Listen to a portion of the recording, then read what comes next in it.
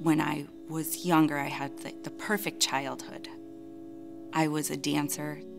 My God given talent was dancing, and I was the star. I was the little girl that they put in front so that all the little girls can watch me. Um, I was a soloist. And then I started dancing with a male partner. And we did all kinds of fun lifts. And we stole the show, honestly, we did. When I started to hit puberty, I started to gain weight. My dance teacher told my mother that I was too heavy to do the lifts anymore. And that completely destroyed me. So my self esteem plummeted there. It was right around 14. My parents got divorced. And I thought I was okay then because I just wanted my mother to be happy. So I thought it was okay, but it wasn't okay.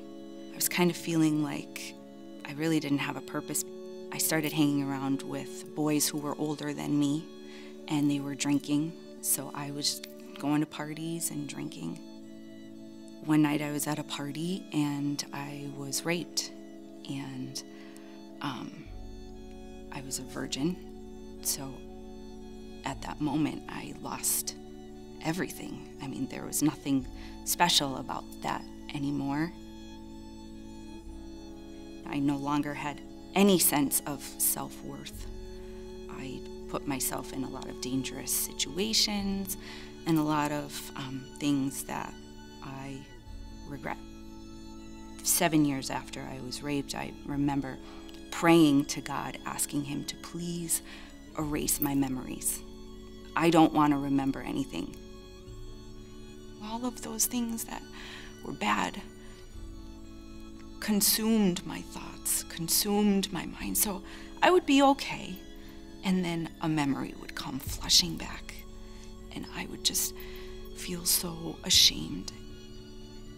I would listen to music that would bring me right back to that point in time, almost like it was playing in the background during these moments. It kind of didn't teach you how to overcome those negative experiences or feelings, kind of just help you stay down in that pit of raw emotion and anger. I really appreciate Kristen being willing to share her story, and we'll get to hear more of her story in a few minutes. But as I listened to her story for the first time, I couldn't help but realize again how easily we can become defined and imprisoned by the experiences of our past how we can allow the things that people have said to us and done to us begin to trap us and define us, and we become overcome with anxiety, perhaps even guilt, and a sense of uh, self doubt. And we're going to talk about that today. This is week number two in this series called How to Be Brave. It's good to have you with us today. And let me give a big welcome to those of you on the other side of the camera in Clarks Summit, those of you in Wilkes-Barre as well. And during this series, we're talking about what it looks like to push past our fear and to push past those things that tend to hold us down and hold us back and keep us from living the way that God has called us to live. And as I said last week, um, courage is not just something we need for extraordinary situations, like when a boat is sinking or somebody needs to be rescued from a burning building. Courage is something that we need in the everyday experiences of our lives if we're going to live the way that God has called us to live. And some of you have come to church today, perhaps in need of courage. Maybe you simply need the courage to make what you know is the right decision, even though it's not going to be a popular decision. Maybe you just need the courage to have a conversation with somebody that you care about that you've been putting off for too long. Maybe you need the courage to live out your faith in high school or in college because you're a student and you know that if you really live out your faith authentically, it may cost you some friendships. Maybe you need the courage to share your faith and the message of hope that's been entrusted to you with people in your life that are looking for answers. Maybe some of you come here today and you just need the courage to get up every day and to face the circumstances in your life that tend to overwhelm you. See, we all need courage in the everyday experiences of our lives. But here's what I believe about courage I believe that the battle for courage is won or lost in our minds. I believe that the depth of your courage will be determined by the nature of your thoughts. Because fear doesn't come so much from the, the challenges that we see in front of us, it comes more from the thoughts that tend to germinate inside of us. I believe the battle for fear, for courage, is won or lost in our thoughts, in our minds. There's a small town out in Oregon. It's called Echo, Oregon. It's a city of about 640 people. And a few years ago, they made an interesting discovery. The, the town council decided that it was time to renovate the city hall in Echo, Oregon, uh, because the ceilings were sagging and the plaster would crack even if they repaired it, and the windows no longer operated. And so they decided to renovate the building. And when they went about assessing what had to be done, they ventured up into the attic. And up there in the attic, they discovered over 10,000 pounds of pigeon droppings so much so that it was beginning to collapse the building. That's why the ceilings were sagging and the plaster kept cracking and the windows wouldn't open. It cost them more than $500,000 to remove the pigeon droppings and to repair the building. And here's my thought. My thought is this we live in, in a world that is constantly trying to deposit in our minds the equivalent of pigeon poop. and we become weighed down by poisonous thoughts and we become overwhelmed with stress and anxiety because of our thoughts, because of what gets deposited between our ears. Uh, let me give you just a simple sentence that I think sums up the intersection between our thoughts and our fears. I would say it this way the fear we feel often comes from the lies that we believe. The fear that we feel so often comes from the lies that we believe. The lies that may sound something like this God doesn't love you, He probably doesn't even exist. You'll never change, so why even try? You're not good enough, strong enough, smart enough. You can't handle this. Your life doesn't matter. It's too late for you. The lies that we tend to believe create the fear that we tend to feel. And you may hear those lies from our culture. You may hear them from people that you know. It may just be the internal dialogue, the voice of your own mind that keeps telling you those lies. And it's my own experience as I think back to times when I've struggled with anxiety. You know, those times I remember waking up in the middle of the night at 2 a.m., my mind just racing. Those times, even when I found myself in depression. And after the fact, looking back a little bit more objectively, I can say pretty much without exception that every time I found myself there, because I believed something that wasn't true, the fear that we feel often comes from the lies that we believe. And today, as we think about this idea, I want to draw your attention to an example from the pages of Scripture of what happened when a group of people began to listen to the wrong voices. It's a story that's told in the book of Numbers, chapters 13 and 14. It's the fourth book of the Bible Genesis, Exodus, Leviticus, and Numbers. And you can open up in a Bible and turn there, bring it up on a Bible app, or just follow along on the screens. But before we jump in there, let me just give you a little bit of history so what I'm about to read in Numbers will make sense to you. As you may know from the history of the Jewish people, that the people of Israel lived in slavery in the land of Egypt for 400 years. But then they cried out to God, and in Exodus chapter 2, it says this the Israelites groaned in their slavery and cried out, and their cry, and, and their cry for help because of their slavery went up to God. And so God heard their prayer, and He answered their prayer, and He sent someone to rescue them. It was this guy here, uh, Moses who looks a lot like Charlton Heston. And he's doing that football like move thing. Anyway, so God calls Moses, and if you remember the story, God spoke to Moses in this incredible and this miraculous way from a, a burning bush that was not consumed. And one of the things he said to Moses was this in Exodus chapter 3. He said, Go, assemble the elders of Israel and say to them, The Lord, the God of your fathers, appeared to me and said, I have watched over you and have seen what has been done to you in Egypt. And I have promised to bring you up out of your misery in Egypt into a land flowing with milk and honey. And so Moses goes back to Egypt. He confronts the king of Egypt, Pharaoh, and he says that, and he tells them he, he needs to let the people of Israel go. Now, now Pharaoh w- was not crazy about the idea of just letting this free labor all just walk out. So he, he says, No, I'm not doing that. And so then God sends a series of plagues onto the land of Egypt, and eventually Pharaoh taps out and he lets the people go. And so Moses leads them from Egypt through a wilderness, and eventually they arrive at a place called Kadesh, which is right on the edge of the promised land. So 400 years of slavery, and now they're almost home. We'll pick up the story there. Chapter 13, Numbers, verse 1, it says, The Lord said to Moses, Send some men to explore the land of Canaan, which I'm giving to the Israelites. From each ancestral tribe, send one of its leader. And there were 12 tribes, so 12 leaders would be sent in. Now, there's one phrase here that's very, very important. I want to point this phrase out to you. He says, The land which I am giving to the Israelites. Not the land which I may give to the Israelites, not the land which I hope to give to the Israelites the land which I am giving to the Israelites. In other words, in the eyes of God, this was a done deal. This was his promise to his people. Now, they would have to go in, they would have to fight some battles, they would have to play their part. But in the end, God says, I am giving this land to you as your new home. So keep reading, verse 3.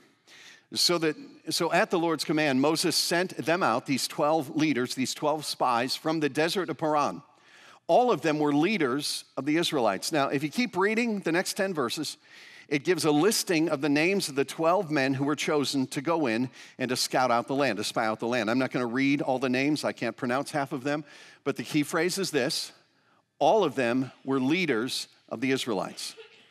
They didn't just draw straws and send in all the guys that got the shortest straws. These were the leaders, the people that we would expect to have faith and courage and vision. And so Moses sends these guys in, sends them in on this recon mission. Pick up in verse 17.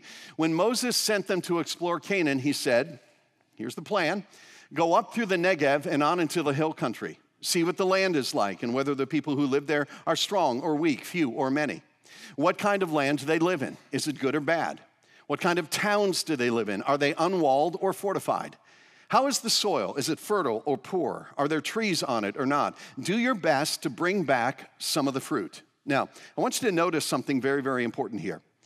These 12 leaders, these 12 spies, were not instructed to bring back an opinion, they were instructed to bring back a strategy. The question was not whether or not they would go in and live in the land. The question was only how, because God had already promised them the victory in this. Uh, think about it this way, just to try to help you understand it. Imagine an angel were to show up today in the office of Doug Pederson, who's the head coach for the Philadelphia Eagles. And the angel says to him, Doug, I have a message for you from heaven. And the message is this today, when you play against the Kansas City Chiefs, you're going to win. It's guaranteed. You're going to have to field a team. You're going to have to put forth a good strategy. Your guys are going to have to play hard. But if you're willing to do all that, you will win the game. It is guaranteed. Now, obviously, that's just an illustration. We all know that the Philadelphia Eagles have not received any divine help in the last couple of years. but that's basically what was happening here. God was saying, listen, I am giving you this land, I am giving you this victory, but you have to play your part to secure this victory. And so the 12 leaders go in and they spend 40 days exploring the land. And while they're there, they see some absolutely amazing things. Look at verse 23. When they reach the valley of Eshcol, they cut off a branch bearing a single cluster of grapes. Listen to this. Two of them carried it on a pole between them.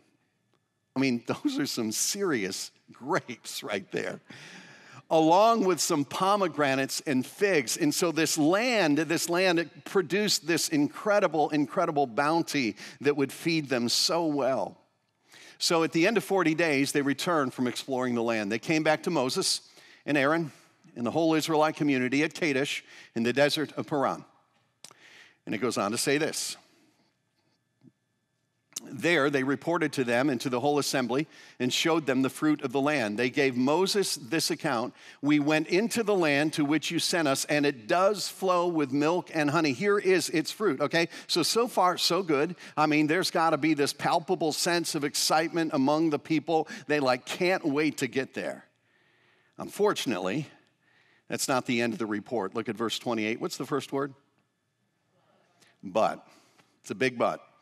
But the people who live there are powerful, and the cities are fortified and very large. We even saw descendants of Anak there. The Amalekites live in the Negev, the Hittites, the Jebusites, the Cellulites, the most dreaded enemies of all. Just seeing if you're paying attention. The Hittites, the Jebusites, and Amorites live in the hill country, and the Canaanites live near the sea and along the Jordan. As you hear those words, what emotion do you sense? Fear, doubt, insecurity, lack of faith. Now, fortunately, like I said, there were 12 spies that went in, but not all 12 of them had the same opinion. There were two who did not agree with the majority opinion. Their names were Joshua and Caleb. And so Caleb speaks up. Then Caleb silenced the people before Moses because at this point there was some rumblings.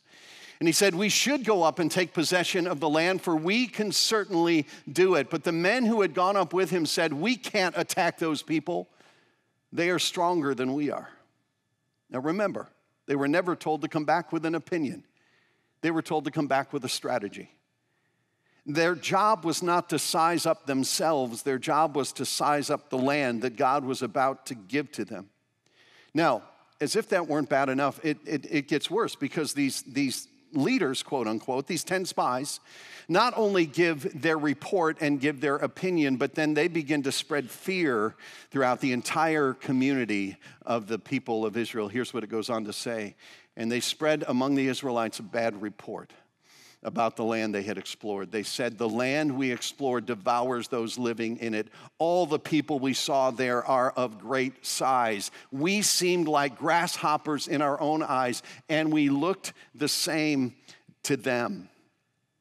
And so they give this uh, bad report and they're undermining the morale of the people, and this spreads throughout the camp. And eventually, listen to how the people respond to what they just heard from these 10 leaders. Chapter 14, verse 1.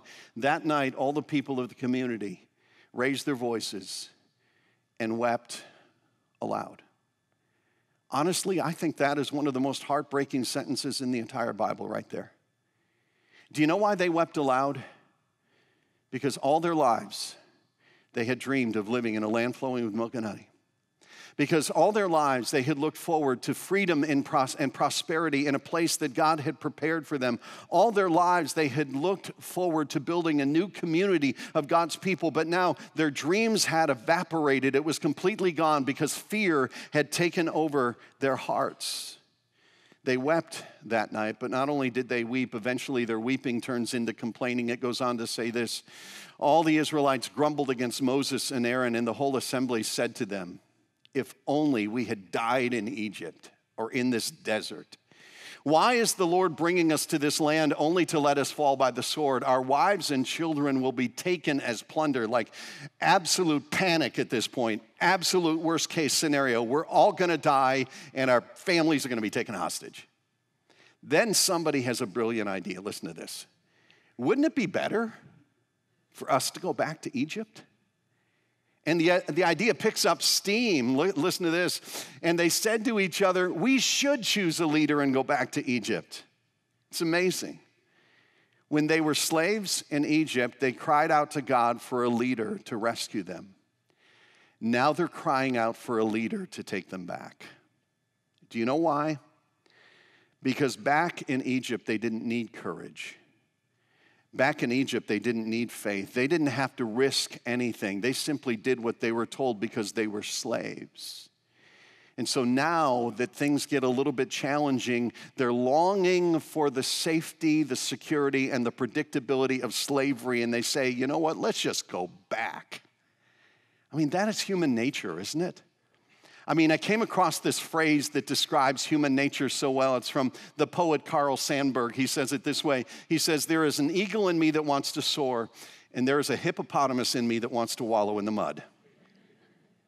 And see, I, got, I believe that God wants his people to soar. But here's what happens when fear overtakes our hearts, when we listen to the wrong voices. We decide that it's good enough just to wallow in the mud for the rest of our lives and to miss out on God's vision for us. And so the good news in this whole story is that, as I said before, uh, not all 12 spies had the same opinion. There were these two guys who had a vision for the future, who believed in God unequivocally, who, who had courage Joshua and, and Caleb. And so here's what happens in verse 6 Joshua, son of Nun, and Caleb, son of Jephunneh, who were among those who had explored the land, tore their clothes, which was a sign of great grief and mourning in that culture. And they said to the entire Israelite assembly, The land we passed through and explored is exceedingly good. If the Lord is pleased with us, he will lead us into that land, a land flowing with milk and honey, and will give it to us. Only do not rebel against the Lord, and do not be afraid of the people of the land, because we will swallow them up. Their protection is gone. Here it is again, but the Lord is with us. Do not be afraid of them. Now, it's, you know what's so interesting to me? All 12 spies saw exactly the same thing. Like all 12 of them saw the same cities, the same people, they saw the same land. It's not that Joshua and Caleb somehow took a different route and never saw any of the challenges. They saw the challenges, they saw the problems. They also saw something else. Beyond all of that, they saw the power and the promises and the love of God and they chose to focus on that. Did you catch how many times in that brief little speech the name of God came up? He will lead us into that land, He will give it to us. Their protection is gone, but the Lord is with us. See, Joshua and Caleb said, Yeah, the people are strong. Yeah, the cities are fortified. Yeah, it's going to be challenging. But that doesn't matter because God is with us and we are not alone. See the difference between Joshua and Caleb and the other 10 spies? It was simply a difference in perspective.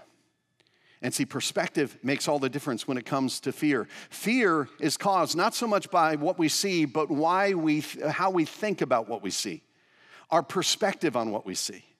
And here's the thing we can actually choose to shift our perspective if we want to. Uh, let me give you some examples of how powerful perspective can be, okay? So, on, on every campus, I want you to look at this and tell me what the word is here on the screen. Turn to somebody next to you, play along, tell them what word is on the screen. Go ahead, tell somebody. What word is that? All right, some of you may have looked at that and saw the word good. Or if you looked at the white, you saw the word evil. It's all a matter of perspective. Okay, let's try it again. Turn to somebody next to you and tell them what's in this picture. Go ahead, tell somebody next to you. What do you see in that picture?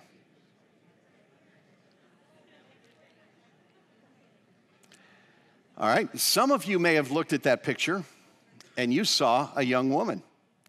Others of you may have looked at that picture and you saw an old man. It's all a matter of perspective. It's all how you look at it. Let me give you one more. Turn to somebody next to you. Tell them what that is. What do you see in that picture?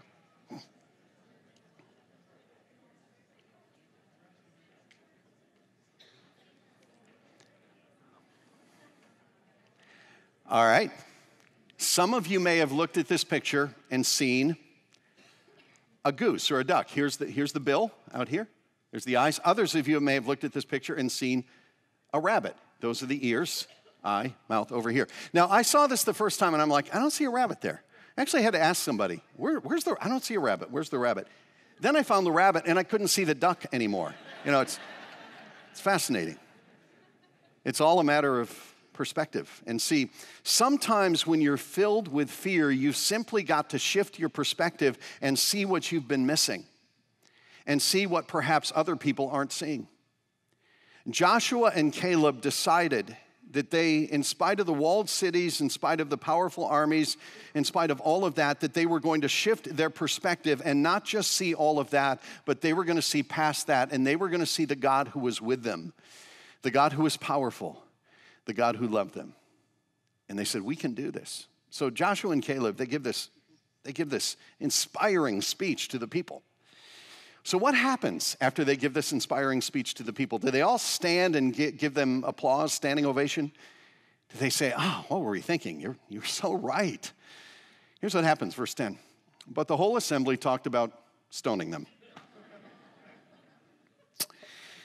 Now, I'll stop there in verse 10 with that story and I'll summarize the rest of it. If you were to continue reading through the book of Numbers, you would see how the rest of the story of the people of Israel plays out. Because of their lack of faith, this entire generation of people that was present in that moment, they wandered in the wilderness for the next 40 years. They never saw the promised land. They spent the rest of their lives wondering what could have been. They spent the rest of their lives wondering how it might have felt to live in that place. So there were 12 spies that went in. Two of them came back and they spoke with words of courage. Ten of them came back and they spoke with words of fear. And it was the voices of the ten that drowned out the voice of God and instilled anxiety in the hearts of the people and changed the, the destiny of an entire nation. So here's what I want you to do in these last few minutes I want you to think not about the spies in that story. I want you to think about the spies in your own mind. What are the voices that you're listening to? Because the fear that we feel often comes from the lies that we believe. What are the voices that you're listening to? And I want to talk about three different kinds of voices to make this very, very practical. I want to talk about the voices around us, the voices alongside us, and the voices behind us. Let me start with that first one the voices around us. We live today in the digital information age. Most of us spend huge chunks of our waking hours connected to the voices of our culture. Every time you turn on a TV, every time you turn on a radio, every time you open up a laptop, every time you tap your phone, you're hearing the voices around us. And I believe that has an effect on us. And I believe in our culture, it's begun, I think, to consume us. Let me show you some statistics here. Um, Americans now consume 60 hours of electronic media per week between television, radio, the internet, online video, Hulu, Netflix, uh, video on mobile phone, uh, 60 hours a week. And by the way, these are the statistics from 2012. In 2016, it was up to 69 hours a week, and a much larger portion on our phones and a little bit less on television. So we're constantly walking around with the voices of our culture buzzing in our back pocket. I'm not sure that's a really good thing. I mean, we come to church for an hour a week and expect to be inspired for that hour, but we've got to lay that hour over 60 to 70 hours of media intake that hardwires our brain to think a certain way. It's no wonder we're stressed. It's no wonder we live with anxiety, and, and it's no wonder we're directionless and restless. I, I, I read a news story um, from this past year about a little boy in Louisiana, a seven year old boy. His name is Cohen, and he's fixated on garbage. He's been fascinated with trash ever since he's been a toddler. Um, he goes running out the door every Friday morning to meet the garbage guys and to watch them take away his trash. His mom was interviewed in this article, and, and here's what his mom said. Every time we drive somewhere, he points out the garbage trucks and he'll look at the different garbage cans. He'll even go on YouTube and look at videos of garbage trucks. It's been garbage since he was two years old. And then this you have no idea what it's like having a child who has a passion for trash a child who has a passion for trash. I wonder if God ever feels that way about us because we have such a passion for so much of the clutter that just trashes up our minds and our lives to the point where we can no longer hear the voice of God. What are we going to do about that? Um, uh, my kids uh, showed me something on, my phone that, that, I thought was really cool, so I want to show it to you. And I have an iPhone, so it may not work the same way if you have a different kind of phone, but I have an iPhone. I'll show you how it works on my iPhone. On my iPhone, there's a button on the side, and if you press that and hold that for a bit, then this next screen comes up. And what you do is you slide that, and here's what happens right there. You should try that sometime. Just turn it off. You turn off your TV, turn off your laptop, turn it all off because I think every once in a while we just got to silence the voices around us so that we can hear the voice of our Father. We talk about a different category of voices. Let me talk about the voices alongside us. I'm talking about here relationships. Think about the people that you spend the most time with. Are they people who are building your faith or are they people who are draining your faith? I think one of the clearest verses in the Bible about relationships is in Proverbs 13, verse 20. The one who walks with the wise will become wise, but the companion of fools will suffer harm. There's a promise and a warning here.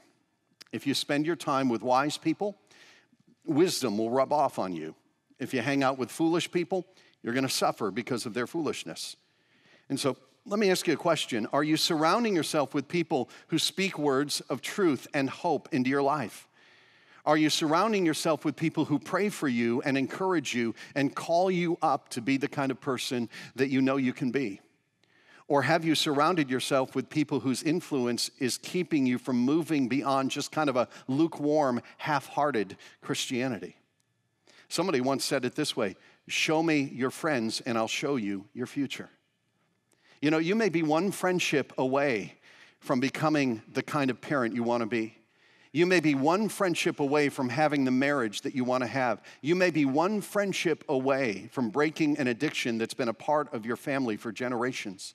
See, I believe the right voices, the right relationships in our lives can be that powerful the voices alongside us. So we, we believe in this so strongly. We believe in having the right voices in our lives that we actually structure uh, a lot of things in the life of our church around this. And, and I want to encourage you to go on our website, go to this page, parkerhill.org slash groups, because we believe life is better connected. Uh, we believe it's really important to not just be anonymous in terms of being a part of this church, but finding a group of people who know you, who can encourage you, who can speak into your life, who can pray for you, who are moving in the same direction that you're moving on your journey. And if you go on this uh, landing page on our website, there are a number of different group options there. One of them is called Starting Point. So if you're brand new to your faith or just coming back to your faith after many years, if you're new to this church, I would jump into Starting Point. Uh, it meets for like eight weeks. It's pretty brief. Meets right on your campus on Sunday mornings.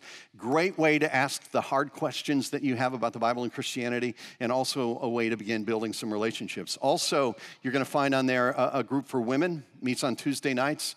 Incredible, incredible experience for women. There are groups also for men that meet on each campus. There's a group that you can join that will help you to manage your finances better. But in every single one of these, You'll get to get the right voices speaking into your life, not just in terms of content, but in terms of beginning to build those relationships that all of us need. So I've talked about the voices around us, the voices alongside us. But let me talk about one more category of voices. And those are the voices behind us. Because some of you are still listening to the voices from your past. The voices that still echo in your mind. It might be the voice of a parent or the voice of a teacher or the voice of a coach. And you can still hear those voices decades later. Those voices that told you that you're not pretty enough, that you're not smart enough, that you're not strong enough. Those voices that called you a loser, a burden, a mistake. Those voices that made you feel unlovable, unworthy, unattractive. And you still play those tapes over and over, and those voices still affect you and they begin to define you. Let me tell you this if you're a follower of Christ. If you're a follower of Christ, there's one voice that you need to hear above every other voice in your life, and that is the voice of your Savior. And see, that, that's what this message all comes down to, really.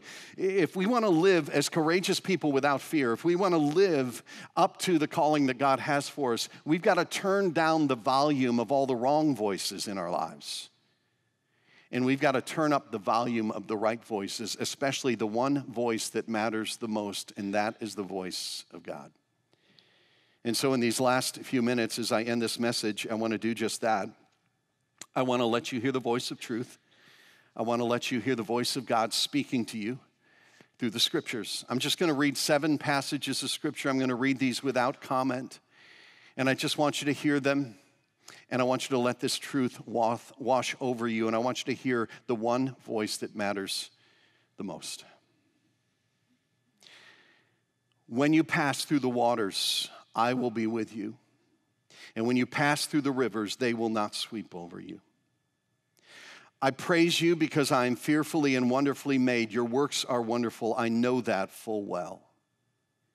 If God is for us, who can be against us? God is our refuge and strength and ever present help in trouble. Therefore, we will not fear though the earth give way and the mountains fall into the heart of the sea. God has said, Never will I leave you, never will I forsake you. The one who is in you is greater than the one who is in the world. The spirit you receive does not make you slaves so that you live in fear. Rather, the spirit you receive brought about your adoption. And by him we cry, Abba, Father. Just before the message, you heard part of Kristen's story and how the voices in her life had brought her to a point of deep anxiety and deep hopelessness.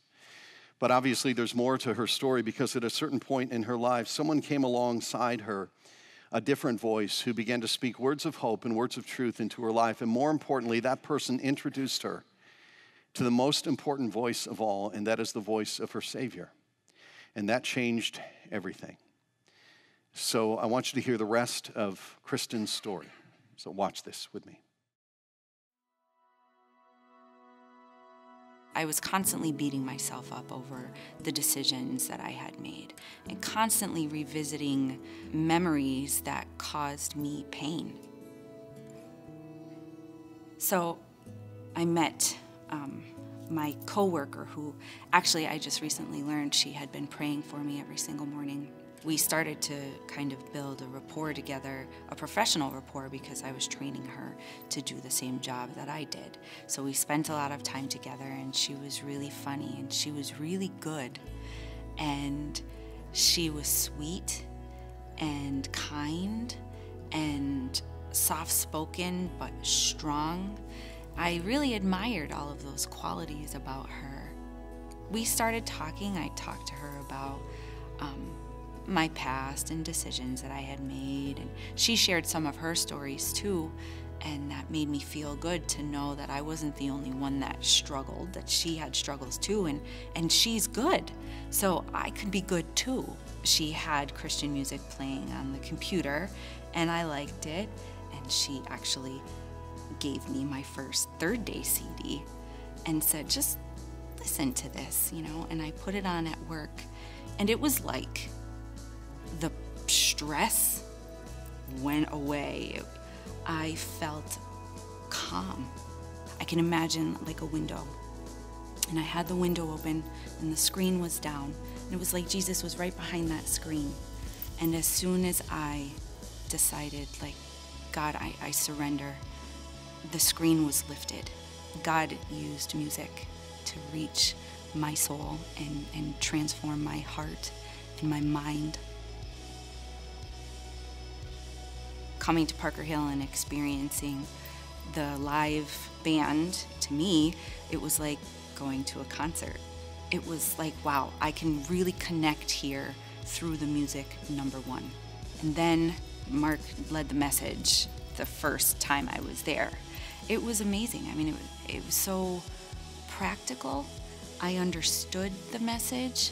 I understood what I was supposed to take away from the message it was unlike anything I've ever experienced at, at a church before. You can be redeemed, and that redemption is real. And I want people to feel how I feel. I want people to have that sense of peace and security. I am a completely different person, and I'm completely free from the pain it's amazing. It truly is.